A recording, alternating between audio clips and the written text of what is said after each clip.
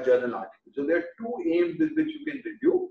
One is basically to change your practice. So you need to really understand whether that journal article is applicable to your study or not.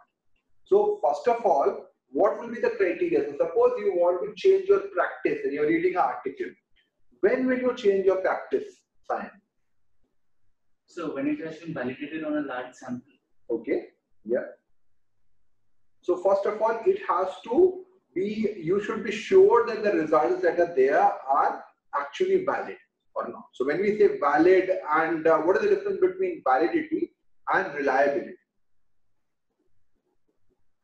Or precision and accuracy? Precision is that you get the same result if it is repeated and, Mm -hmm. and accuracy is uh, if you get the correct result. Yeah, same as validity. So validity and accuracy are the same. It basically means that this is what is there. This is the truth. While when you talk about reliability or when you talk about precision, it is that this is what you do every time. So every time you do that, you may make the same error or you may still be valid. So this is the basic difference between that. So first of all, the primary thing would be whether the test is valid or not. If the report which is given, the results which are given in the journal are not valid, you don't have to change your practice. The second step would be that whether the validity has to be in a contextual manner. So whether some study is valid from maybe a particular very developed country in which they are using a special type of insulin pump and they are using uh, a closed loop sensor and the topic that we will discuss about, whether they, the same thing is applicable in our country or not becomes important. So what is that? So one is validity. What is the second concept we are talking about? It is known as whether the results from one particular study can be extrapolated into the other. It is known as generalizability.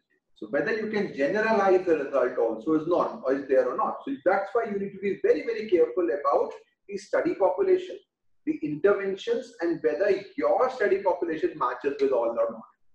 Third would of course be when it is valid, it is generalizable, but as Simon was saying, what is the strength of that? So if there is a single study for the first time, you will not want to change immediately. So what is the strength of the study? And we already know that there are various levels of evidences we talk about. And we talk about how case reports are the lowest this thing. And then we go about descriptive studies. Then we talk about randomized trials. Then we talk about meta-analysis. And all those things become relevant. So what is the strength of association?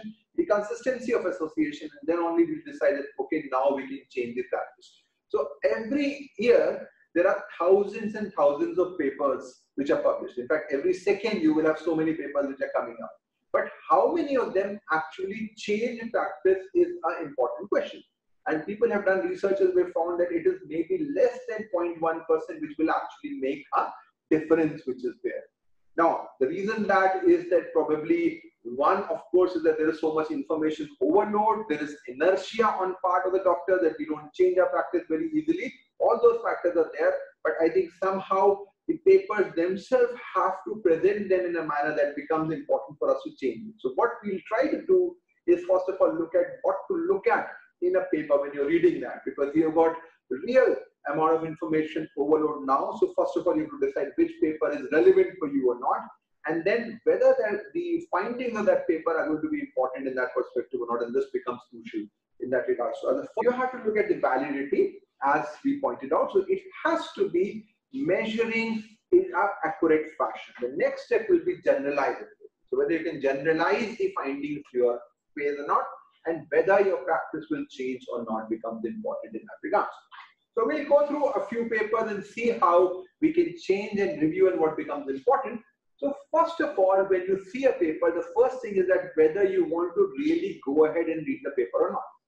If you look at that, if you see people what they were doing maybe around 50 years ago, they used to read each and every news item which is there in the paper, people used to read for hours and study and everything. Now because time is less, information is too much, people started reading just maybe the first three lines, then they started reading just the headlines and now nothing at all.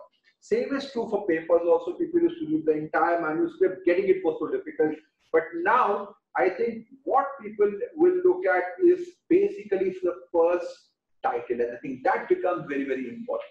So, as we discussed last time about writing a paper, That you need to keep your uh, title very, very crisp in that regards. That is relevant because from our audience perspective, if you don't find it interesting, you won't go into it.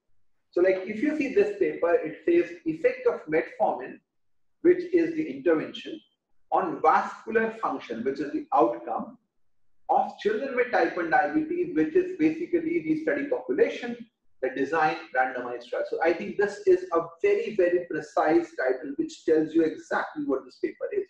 It is looking at a particular intervention in a particular study population over a given period using a randomized trial. So this is how your title should be because this tells you and whether you want to read it or not. First of all, you're interested in type 1 or not, you're interested in cardiovascular outcome or not, you will know that. So this title becomes very, very important in that regard. So we'll use this paper as basically the template when we talk about all the discussion, how to review it.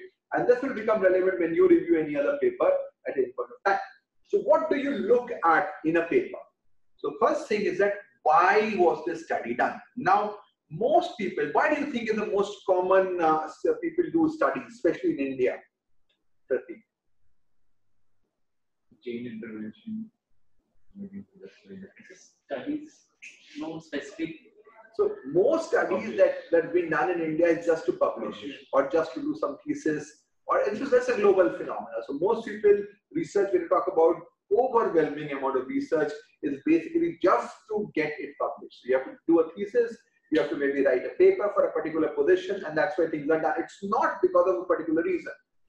Because of that, when there is the why is not related to science, the outcome also will not be that much related to science. So you have to be very clear why the study was done.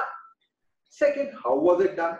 And you have to be very, very clear about how, because how will decide about whether the, first of all, interventions were appropriate or not, whether the interventions were assessed in a proper fashion or not, the outcome was measured properly, and then you will know, okay, whether you can then lies them into your clinical findings or not.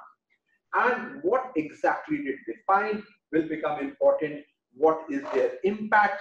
And this becomes important. So the first thing is why is the study done? That's the primary thing. And that will really tell you a lot about uh, why things are. So if you read any newspaper report, you will know why this report is being written. You will see sometimes that they will talk about certain new launches. So they are promotional news. You will see that some uh, leader talked about that. So these are all driven by an agenda. So what's the agenda of the paper becomes important.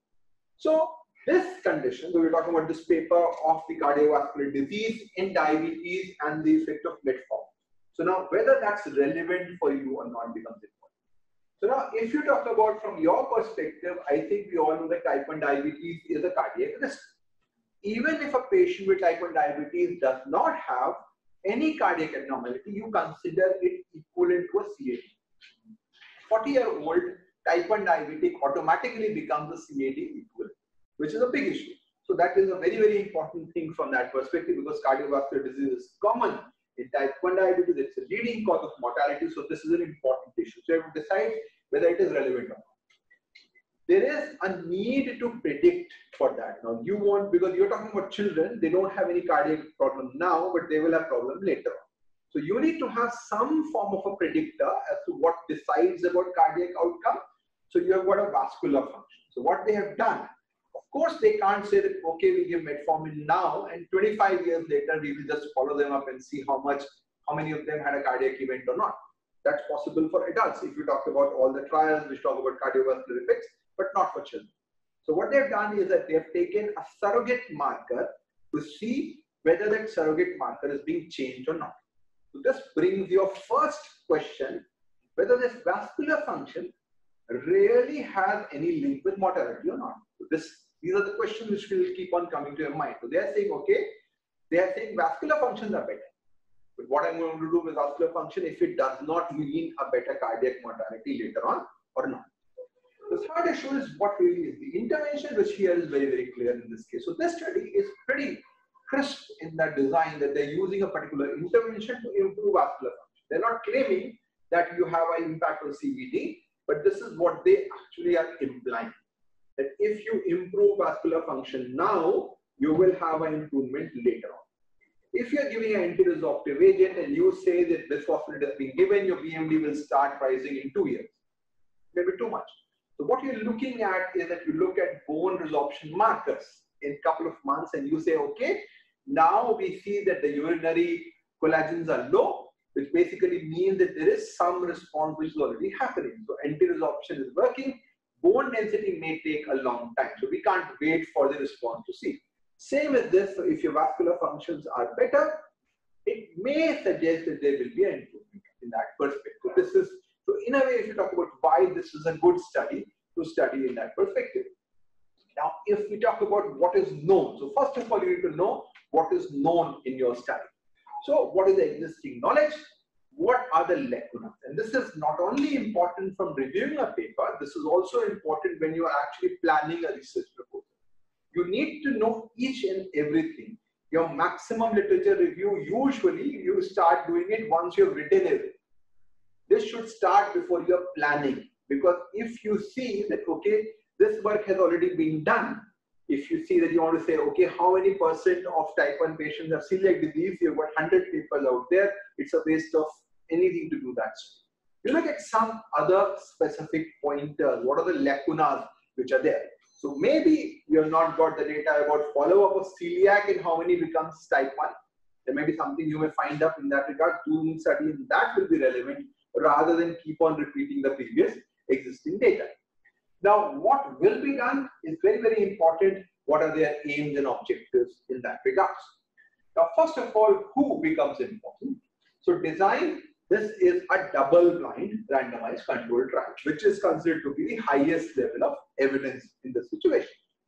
Center, so what they have done is that they have used two specific centers, particularly Adelaide and Western uh, Australia and these centers, so that's very important to have the setting. Now, whether those centers and the patient population will match to the population in Kanpur would be another question that you will cover. So these questions will keep on coming to you when you really think of whether it being relevant or not.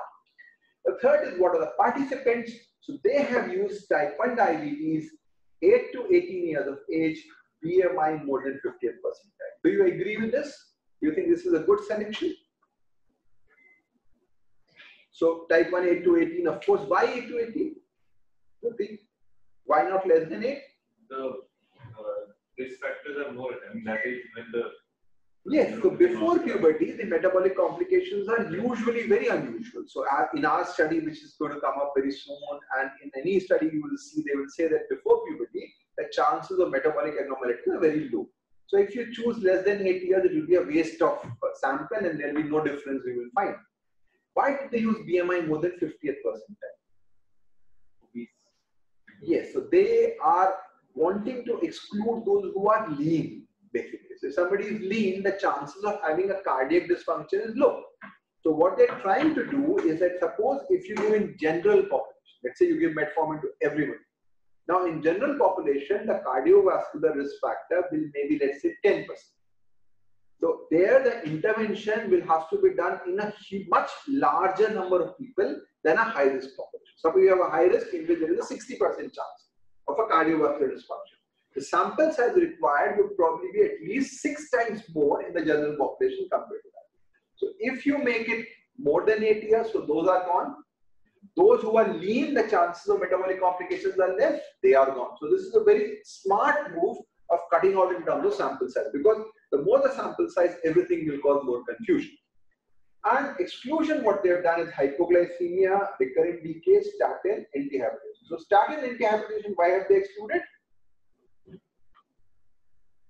Modulate the uh, because they have existing disease already, which means that somebody is on statin means that there is some cardiovascular disease, this is hypertension. So they are obviously doing in somebody who's established problem, there's no point.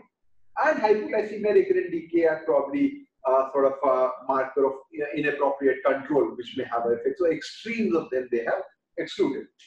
Now what did they do? They gave metformin less than 60 kg 1 gram, more than 60 kg 2 gram. This is a random dose they selected, which is fine, which you can't much object. This is their study.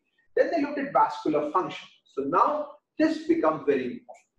What you need to know is that whether these vascular function markers are really correlated with the cardiovascular outcome or not. So what you're seeing here is that they used a flow mediated dilatation. So what is flow mediated dilatation? So this is a marker of how good is the vascular compliance. And then what they did was that they gave GTN, which is a nitrate, and how much is dilated. So if your vessels are stiff, their response will be less. If they are more compliant, their response will be better. The other way to assess compliance is the speed. So you do a Doppler and see the speed of vessels. If the speed is more, what does it mean? More, Vessels are Rigid. rigid. So that means less compliant. So that is the marker which is there. Now, secondary outcome, they also looked at other factors. So they saw how much did metformin change the insulin dose, the HbA1c, the sensitivity, and these are the factors. So now they used a very interesting formula to calculate insulin sensitivity because otherwise insulin sensitivity is a very difficult thing. How do you measure insulin sensitivity? You basically have a closed loop. So in a way, you have got a clamp in which you are giving an insulin at a particular dose and you are giving dextrose on a particular dose. So the amount of insulin required for a particular glucose infusion rate. So at 6 milligram per kg per minute, how much insulin is required, that will give you the sensitivity of insulin. You get the point?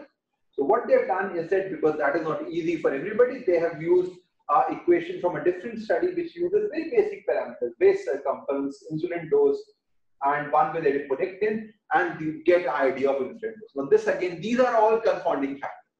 You have to really understand whether this applies or not. So when you're really digging deep into that, you need to understand that this sensitivity is a calculated sensitivity based upon some parameters and not an actual sensitivity. But since this is not a primary outcome measure, I'm not bothered. From a clinical perspective, I'll be happy if the HbA1c improves, and the dose comes down, and maybe these parameters are better. Sensitivity, of course, is a different thing altogether. Of course, if your insulin dose comes down, sensitivity is better, isn't it? That's a pretty much straightforward, but this is for more from academic perspective. They put the thing. They looked at other things like lipid, adipocytokine, and DEXA as well. Now, and vascular structure by the uh, intima-media thickness, the carotid medial thickness was considered as a marker of atherosclerotic development. So the major outcome, now when you're looking at the study, what is the primary outcome measure? Because the sample size is determined based upon your primary outcome measure. These are all secondary. Now, if you say that my sample size was designed from full flow mediated dilatation, but I also found that HbA1c was reduced. Do you think this HbA1c finding is significant or not? Your calculation of sample size is based on vascular function, but your study also showed that HbA1c was significantly decreased. Do you think that this is significant or not? Why? Because it's not the primary outcome, so sample size will be made by the. Okay, so what do you mean? If you're saying that HbA1c fall was there, you are able to see that, then you are saying that error, what is the error that happened? Okay, so basically what you need to understand is the importance of power of the study. So when you say the power of the study, what is the sample size is only to do with power, nothing at all. So when you say power, what does it mean? Power simply means, you can, I can put it very simply, is the power of your glasses. You are two people sitting there. I'm not able to see the difference between the two because I'm not using glasses. When I wear the glasses, my power becomes more, I can see difference. Okay, you get the point? So the sample size only has got a role with the power of study. And the power of study tells you to differentiate, find the difference when there is. You get it? The second is not finding a difference when there is no difference. So there is a two different things to look at. First of all, you should say that okay, one error will happen. Okay, there is uh, difference. I am not seeing. Okay. Second difference will be there is no difference and I am seeing a difference. These are the two types of error: type one and type two error. So when you talk about the power of the study, the power of the study is basically looking at the ability to differentiate real difference. So if you have two people sitting in front of me without my glasses, I am not able to see you. And then when I say able to see with glasses, it means that there is a power issue. But let's put it another way. If even without glasses, I can say there is a difference, what does it mean? There is a big difference. difference. The very fact that your HbA1c, it was not powered enough to detect a HbA1c difference, but it was 12 and it was 6. So even if you are seeing from moon, you might see the difference. So in that case, you don't need to increase the sample size.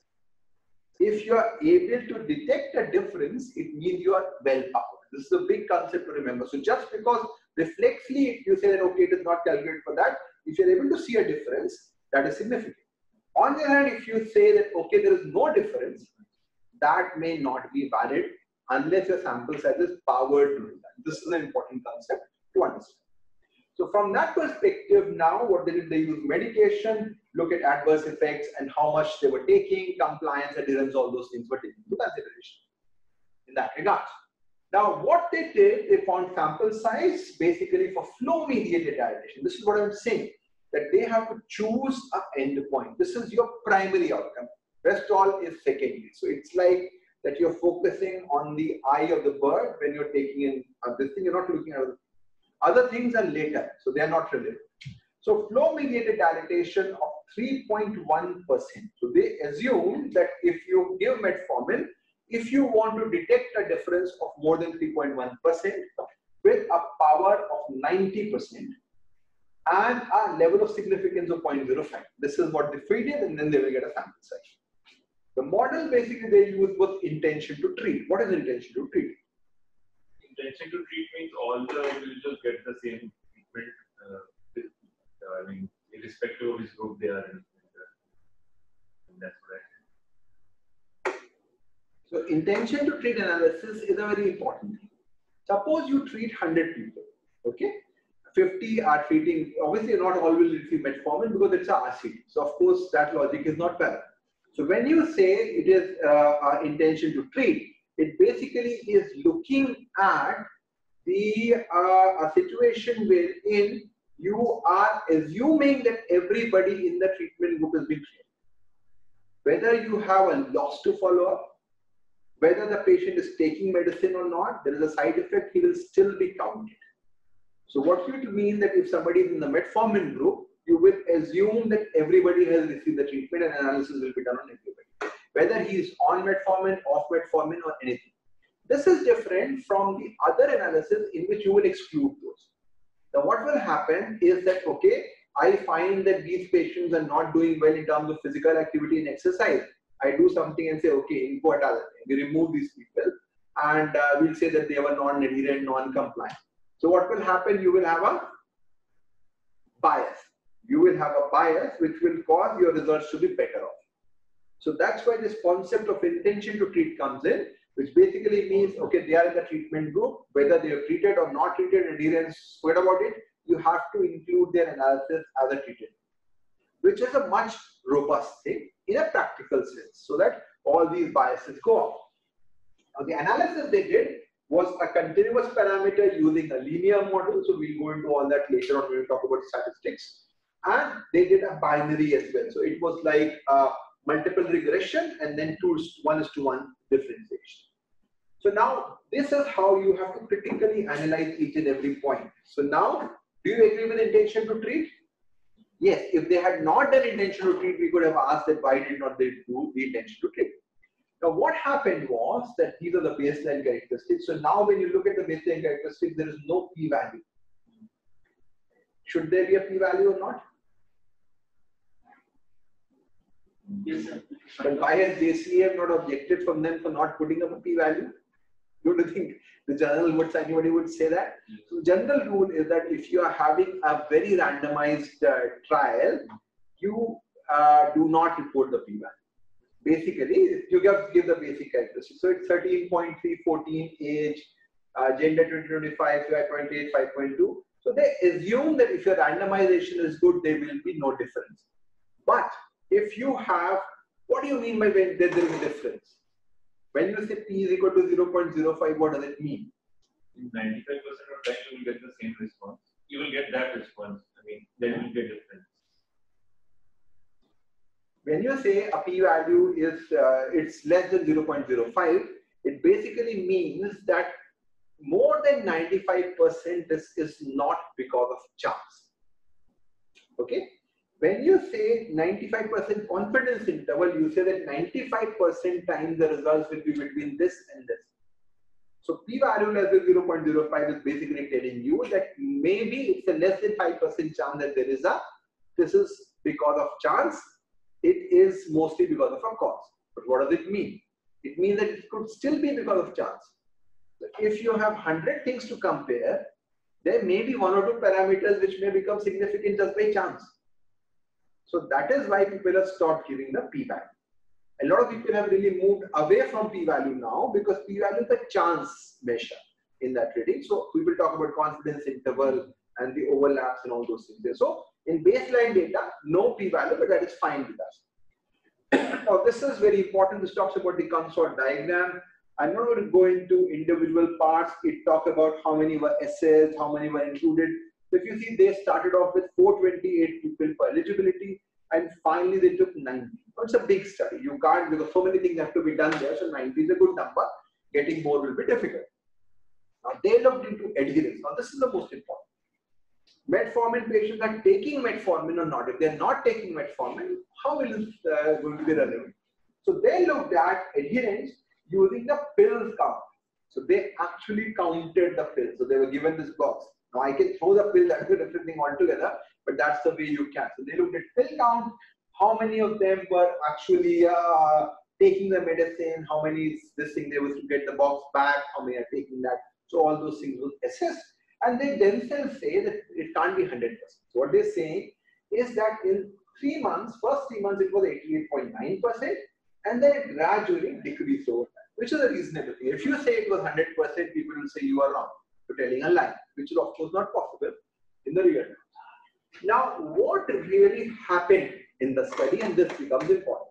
So if you remember, the most important thing was flow-mediated dilatation. So what you are seeing is that this is placebo and this is metformin. And what you're seeing here is that the placebo is lower as compared to metformin. When you go at six months, the difference is not that huge. And 12 months, the percentage units is a bit different. So what they are saying is that there is no difference per se on the flow mediated dilatation, which is the first thing which is coming out of it from the study. Now, GTN response was there. So if you see GTN response, they did see that the p-value was changing. What thing do you think have they have done? Which statistical analysis would they have done in comparing these same individuals over time on multiple occasions?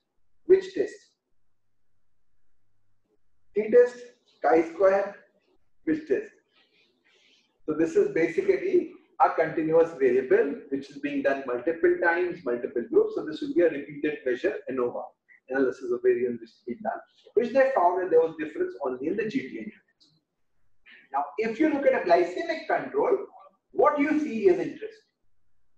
You find that the HbA1c came down by minus 1. Now, this is interesting because in type 2, metformin causes 1. So, this is a good decrease in HbA1c. Most studies otherwise do not show a huge difference in HbA1c with metformin. What they also find was that insulin dose decreased. So there was a maybe 20%, the 0.9 to 0.7. So there was around 20-25% decline in insulin dose, which is good.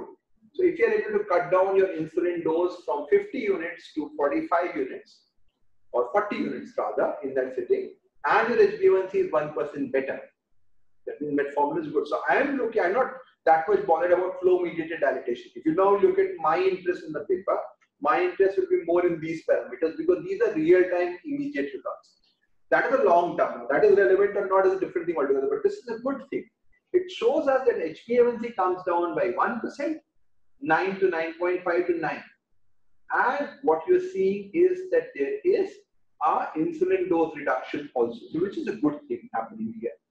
Now, what the other thing you have to see is that the mean HbA1c, even in the Western Australia and all those regions, is around nine and a.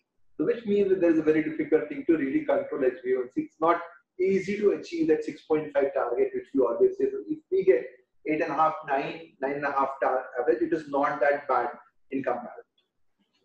now, if you look at other markers, no difference at all in LDL, HDL, total cholesterol, triglyceride, So metformin does not change any of those parameters, it does have some effect on leptin, but I think this could be a chance effect, so I wouldn't be too bothered about that.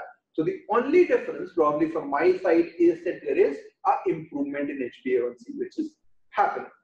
And these are the other things, they looked at complications, blood pressure, everything, which was not really effective. Adverse effects, important. So of course, there will be more gastrointestinal effects with metformin, which were more common. Otherwise, there was not much. It was a pretty safe drug. No increase in terms of DKA. Of course, if your insulin requirement goes down, there will be some increase in mild to moderate hypoglycemia, but not huge. So it was a safe medicine except for the GI side effects which happen. So if we just maybe summarize, metformin use was associated with an improved glycemic control, lower amount of uh, HbA1c with a lower dose in that situation. Now, if you look at the results, the issue now is the validity. So the key thing is that whether it is valid in our study for us or not. So this is the number and course. The general reliability will depend upon the compliance and how many of them were lost to follow-up and what was the objective. So primary objective will be the first thing to look at, then you go at secondary, and then you look at post hoc. So what is post hoc? Post hoc is basically when you try to do a subgroup analysis. Okay, now I say oh, girls more affected, boys more affected, those who had a BMI between 50 to 75, 75 to 90th. This is not your primary design, but now you're trying to fish out data. So this is usually done when you, your primary result is not there. In this case, your primary result is not that much good. You try to say something, that sort of a thing will happen. So post hoc analysis, you have to take it with a pinch of salt always in that regard. Now, if we see what they conclude, now this is very important. People may try to conclude what is uh, much more than what they found in the study. So this becomes important. So we have to read that. We report that metformin improved vascular smooth function during 12 months in above average weight children with type 1 diabetes. Now, how did they conclude? With through the GTN. They did not find that much on the FM. So GTN was the only thing. So maybe that's a bit of a overstatement. The effect was modest. So they are saying it was modest and independent of the improvement in HbA1c. So they looked into other uh, linear modeling and all. They said that HbA1c was an independent parameter. Benefits for both vascular smooth function and HbA1c was greatest at three months. This is very important. Metformin benefits in PCOS, metformin benefits in many of these diseases in the initial phase. And that is basically because of weight loss in most cases. When the participants' adherence was at highest. The benefit was seen in participants who were pre-pubertal or pubertal. So it did not make a difference whether they were pubertal or pre-pubertal. There was no benefit on vascular structure, which is not possible. How will it change the structure in a year? nor on traditional CV factors. So they say that at the moment, the only thing they are finding is that there is improvement in HbA1c and there is some improvement in the cardiovascular function. This is, so they are very modest and they have said also there is no improvement on traditional cardiovascular factors like lipids and everything. No effect on FMDA structure. So this is what is there. No effect on BMI. In fact, reduced dose in HbA1c. This would be the biggest take home that I will take from this paper. From that, well, I'm not that bothered about what happened to the FM, uh, to the GTN, and how much is that relevant 50 years later. But if your HbA1c is down, your insulin requirement is down, that's good. Now, conclusions again is that these subjects were okay. Interventions we have taken care of, and objectives we already evaluated. So, if you now evaluate, this was a double blind RCT, which uh, did a blinding till analysis. So, it's important. So, nobody knew that who was the control, who was the case. So it was a good design. Follow-up was intention to treat, which is a good model to look at. Is it generalizable? Subjects, intervention and impact?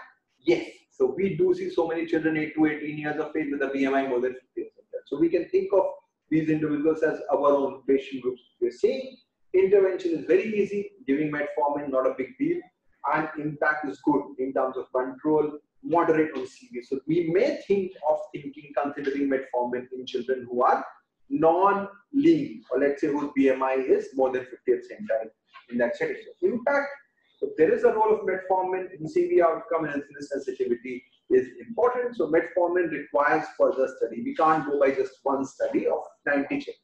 So ultimately it is a 90 children study exploration of CV outcome needs to be done more and there is needs to be correlation of insulin sensitivity. with body composition.